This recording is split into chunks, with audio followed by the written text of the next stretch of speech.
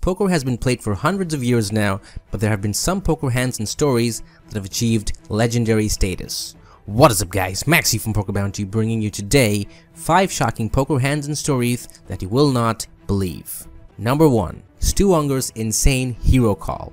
In 1990, Stu Ungar had a chance to become the only player in history to win 3 main event titles in freeze-out format. Having already been crowned champion in 1980 and 81, Ungar held a commanding chip lead as the tournament neared its conclusion in 1990. But having gone back to his hotel room at the end of the second day, his bad habits got the best of him. Ungar spent the night snorting and overdosed, ending up in the hospital. As a result, he missed the final day of the tournament, ultimately finishing 9th place for $25,000 simply by being blinded off. Mansour Matloubi won the main event that year, but once he had recovered, Stu Ungar was keen to prove a point to the new world champion and the rest of the world. Stu Ungar claimed that if he had been able to play the final day of the tournament, he would easily have defeated Matloubi and the rest of the remaining field to become world champion. To prove this, he challenged Matloubi to a $50,000 heads-up freeze-out match. The duel eventually took place at the Four Queens early next year. Matloubi initially took the lead in the match, then Ungar nudged in front. With blinds of 200, 400, and Stu Ungar holding 60,000 to Matloubi's 40,000, the players were dealt 10-9 offsuit and 4-5 offsuit respectively. Ungar started the action with a race to 1600 and Matloubi called holding 5-4 offsuit. The flop came 3-3-7 rainbow and Matloubi checked and Stu Ungar made a big bet close to 6000 which Matloubi called with his gut shot straight draw. Both players then checked the king turn. The river was a queen and smelling weakness in Stuey, Matloubi jammed all in with the $32,000 he had back. After only a few seconds, Ungar called out his opponent's hand and ended the match with a stroke of genius saying, You have 4-5 or 5-6, I call. Stu Ungar flipped up his 10 high to the astonishment of those watching, winning the match and proving his point to the world. This is possibly one of the greatest poker calls in poker history.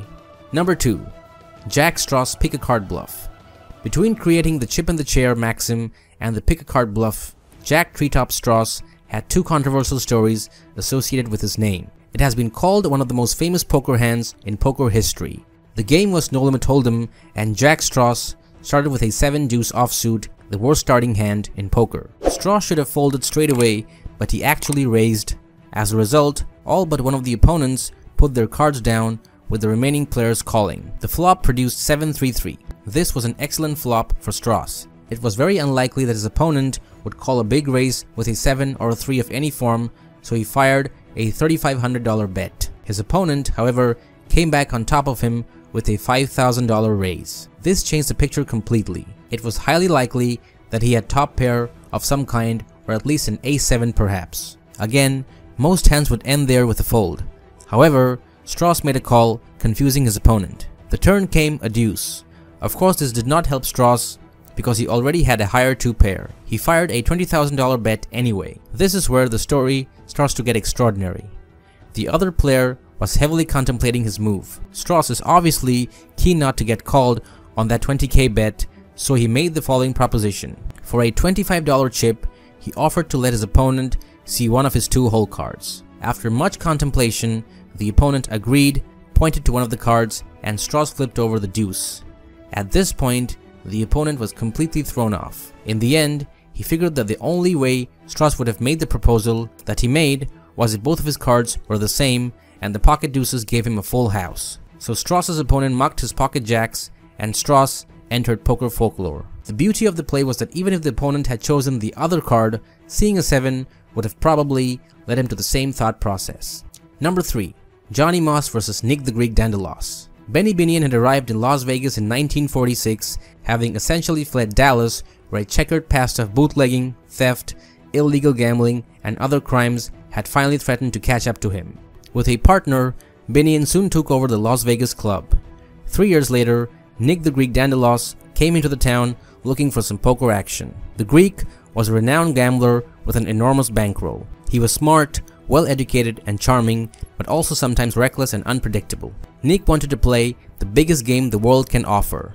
Benny Binion agreed to set it up, but there was one condition that it had to be open to the public, because Benny Binion wanted the publicity. Nick agreed. So Benny called a friend in Dallas, Johnny Moss. Johnny was a rounder, probably the best poker player in the world at that time. He was at the end of a four-day poker session when the call came.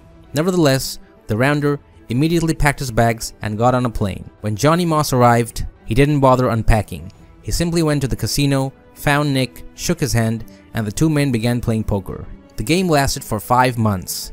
Each session usually lasted up to 4 or 5 days, then the players would break up for sleep.